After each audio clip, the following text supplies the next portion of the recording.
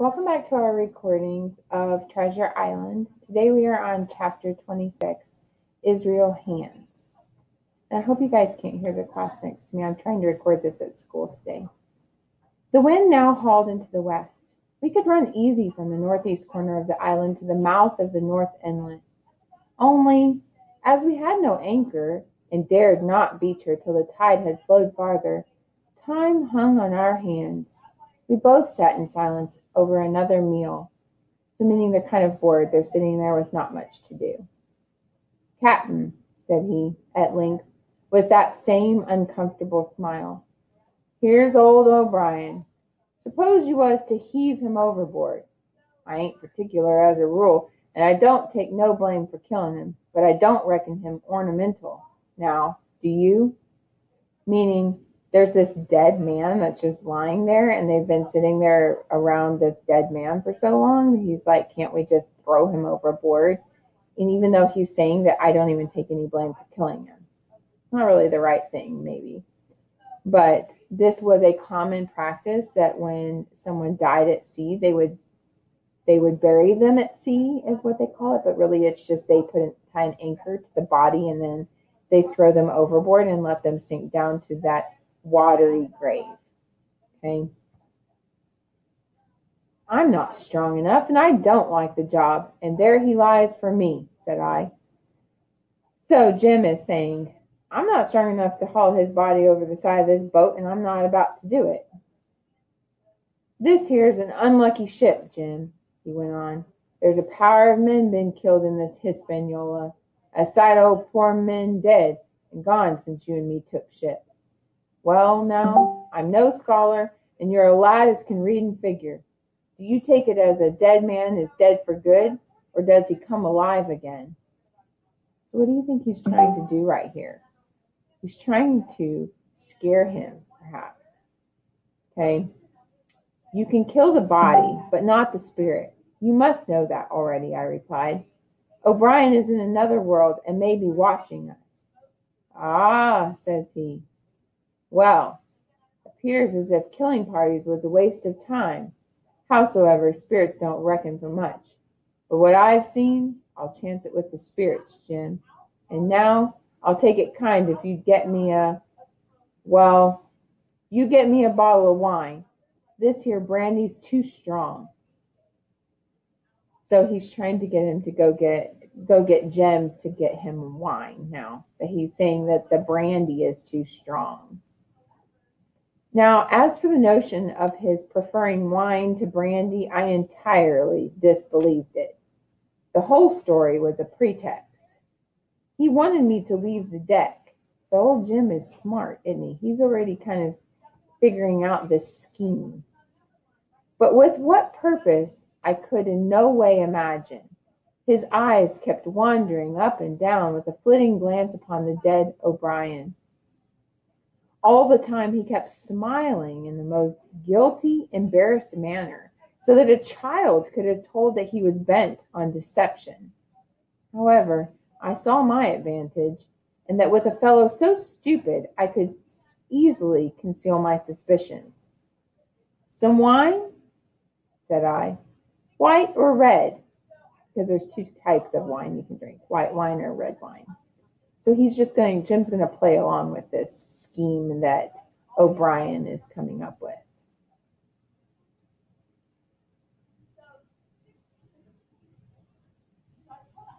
Well, I reckon it's about the blessed same to me, he replied. So it's strong and plenty of it. All right, I answered. I'll bring you port, Mr. Hands but I'll have to dig for it. So port is a type of wine, port wine. I scuttled down the companion with all the noise I could, slipped off my shoes, ran quietly along the gallery, mounted the forecastle ladder, and popped my head out. I knew he would not expect to see me there. So who's outsmarting who? O'Brien thinks that he's tricking Jim. However, Jim is pretty smart and he's gone as noisily as he can, making all kinds of racket as he walks. And then all of a sudden, he just quietly tiptoes out of his shoes, takes them off, and very quietly goes up and is like spying on him, is what he's doing. Well, here's what he sees he had risen to his hands and knees. And though his leg obviously hurt him sharply when he moved, he pulled himself across the deck at a good rate. In half a minute, he had reached a long knife, discolored it to the hilt with blood.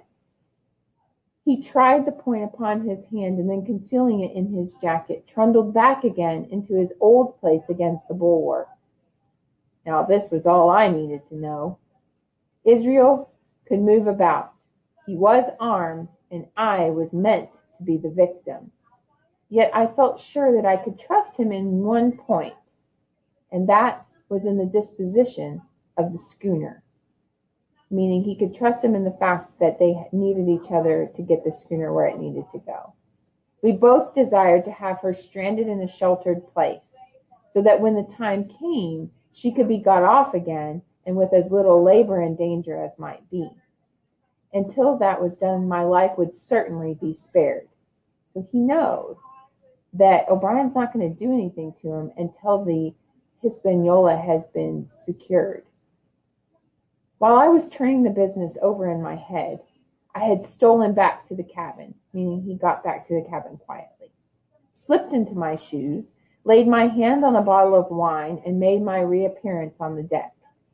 Hands lay as I had left him, all fallen together and with his eyelids lowered, as though he were too weak to bear the light. He looked, however, at my coming, knocked the neck off the bottle, and took a good swig. He lay quiet for a little, and then begged for tobacco. Cut me some, says he. I haven't no knife. It'll be the last, lad, for I'm for my long home. So he's trying to pretend like he's he's about to die. So please cut me some of that tobacco. Well, said I, I'll cut you some tobacco. But if I was you, I would go to my prayers. Why? said he. Tell me why. Why? I cried. You've broken your trust. You've lived in sin and lies and blood. There's a man you killed lying at your feet, and you ask me why? For God's mercy, that's why. I spoke with a little heat, thinking of the bloody dirk he had hidden in his pocket. The dirk is that knife. He took a great draught of the wine and spoke with the most unusual solemnity. For thirty years, he said, I've sailed the seas and seen good and bad fair weather and foul, provisions running out, knives going and whatnot. Well, I tell you, I never seen good come of goodness yet. Him as strikes first is my fancy. Dead men don't bite. Them's my views. Amen. And now look here, he added, changing his tone. We've had about enough of foolery. The tide's made good by now. You take orders, Captain Hawkins, and we'll be done with it. So he just said a lot in that. He was kind of being sarcastic because Jim told him to go to his prayers, meaning you need to pray for your soul before you die because you've been a killer and you've done all these bad things in your life and you need to pray for mercy from God. It's basically what Jim told him. However, he gets all solemn and, and serious and he says for 30 years he's never seen good things going well and he's saying that when you kill someone, they aren't going to come back and bite you. So if you let somebody, if you show somebody mercy and you let them go, that they could turn on you later on and come back and try to kill you. That's his views. That's what O'Brien thinks, right? So he says, "Well, dead men don't bite. That's why I killed." And then, and then he ends his prayer, but it was really just kind of a sarcastic prayer to justify why he is the way he is. We had scarce two miles to run, but the navigation was delicate. The entrance to this anchorage was narrow and shoal, and so that the schooner must be nicely handled to be got in, meaning they had to maneuver around obstacles pretty much to get to where they needed to go. Hands was an excellent pilot, for we dodged in with a neatness that was a pleasure to behold. So he's a good he's good at steering the boat.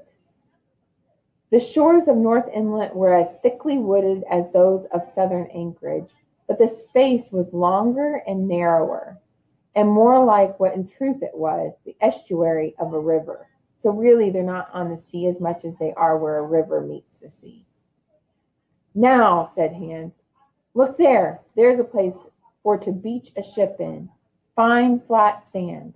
So, remember, they have to run the ship up into where it's a nice sandy bottom. And then as the tide comes out, um, the ship won't move until the tide comes back in and lifts the boat out. And then they're able, because even on a river, the tide still comes up and goes out. So that's what he's saying. He's found the perfect place to beach the ship. Oops. Upside. Oh. Sorry, I skipped a page, guys. And once beached, I inquired, How shall we get her off again? You take a line ashore there on the other side at low water. Take a turn about one of them jib tines, bring it back, take a turn around the capstan, and lie to for the tide. Now come high water, all hands pull upon the line, and off she comes as sweet as nature. And now, boys, stand by. So he's basically just explained what I did about tide coming in and out. He issued his commands, which I breathlessly obeyed. I put the helm hard up, and the Hispaniola swung around rapidly and ran stem on for the low wooded shore. The excitement of these last maneuvers had interfered with the watch I had kept on the coxswain. I had quite forgot the peril hung over my head. So he's kind of forgot about the fact that um, O'Brien wants to kill him and has planned to kill him and stood craning over the starboard bulwarks and watching the ripples spreading wide before the bows. Perhaps I heard a creak or saw his shadow moving. Perhaps it was an instinct like a cat's. But sure enough, when I looked round, there was Hands already halfway towards me with the dirk in his right hand. So he's got the knife in his hand and he's coming after him. We must both have cried out when our eyes met, but his was a roar of fury like a charging bull's. I leaped sideways, and as I did so, I let go of the tiller, which sprang sharp to seaward. So that's the steering wheel of the ship. This saved my life, for it struck Hands and stopped him. Before he could recover, I was out of the corner where he had me trapped. Just forward of the main mast, I stopped, drew a pistol, took cool aim at him, and drew the trigger. The hammer fell, but there followed neither flash nor sound the priming was useless with water. So he's just aimed this pistol at him and he's he's pulled back the so he's pulled back and cocked the the gun and he pulled the trigger but it never fired because it had gotten water in. Wounded as he was, it was wonderful how fast he could move. I had no time to try my other pistol. I was sure it would be useless. I must now simply retreat before him, and he would hold me boxed in the bows. Seeing that I meant to dodge, he also paused, and a moment or two passed in feints on his part and corresponding movements upon mine. I had often played such a game at home, but never before with such a wildly beating heart as now. Still, I thought I could hold my own against a seaman with a wounded thigh. Suddenly the Hispaniola staggered into the sand and then canted over to the port side till the deck stood at an angle of 45 degrees. So the ship has now run up onto the sand and is now tilted up to about that much, a 45 degree angle. Both of us rolled into the scuppers. The dead red cap, with his arms spread, tumbled after us. I was the first afoot again, for hands had rolled into the dead body. I had to find some new way of escape this instant, for my foe was almost touching me. Quick as thought, I sprang onto the shrouds, rattling up hand over hand, and did not breathe till I was seated on the cross trees. So he shimmied up the big pole that's in the middle of the ship where the sails come off of it. I had been saved by being prompt.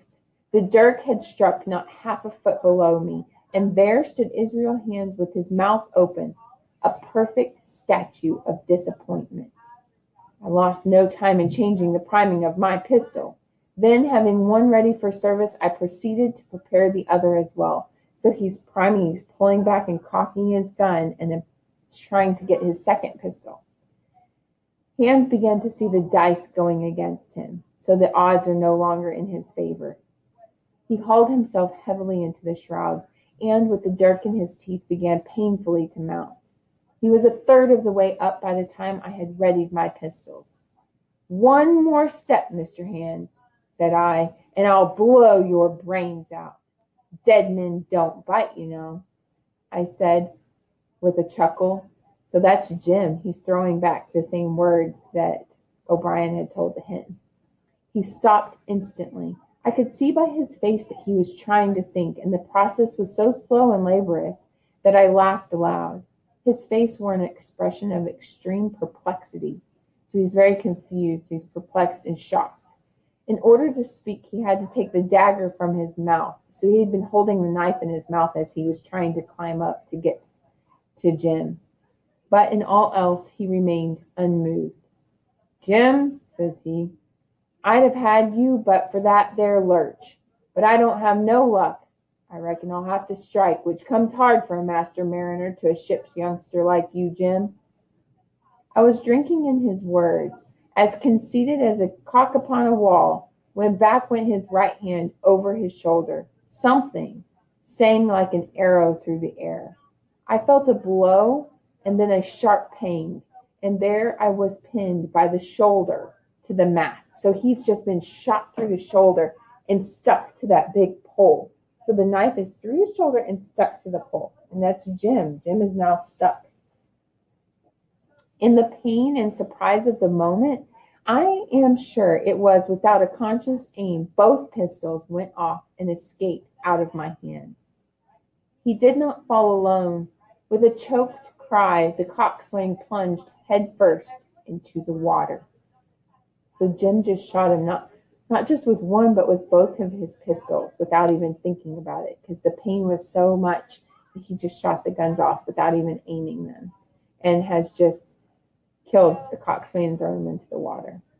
And this is kind of a, a scene of this happening. So you can see the knife up at the top.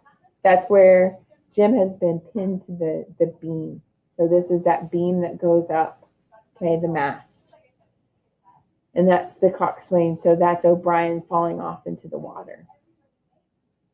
And then we'll pick back up in a few minutes with pieces of eight.